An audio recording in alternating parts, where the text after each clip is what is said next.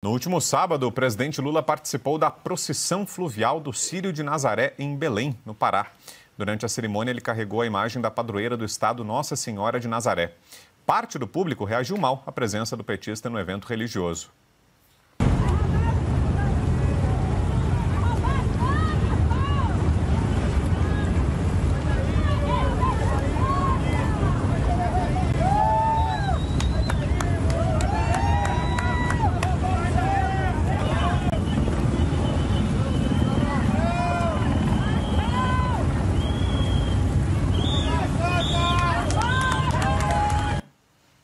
E aí, Augusto, o que nos é diz da cena? que dá você se expor a plateias não amestradas. É isso aí, é outro teste.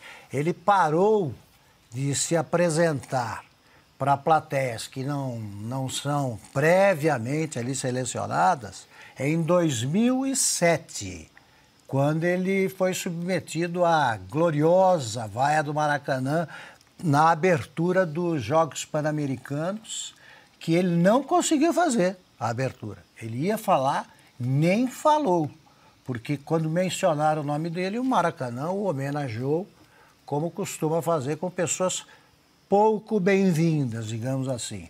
Agora ele vai para o Sírio de Nazaré, que reúne uma tremenda multidão. Ué, a eleição já avisou, olha, quem pode, quem não pode se expor à multidão. Ele foi lá, eles pedem para não roubar a santa, para devolver a santa, é isso aí. Grosso, o jornalismo coragem.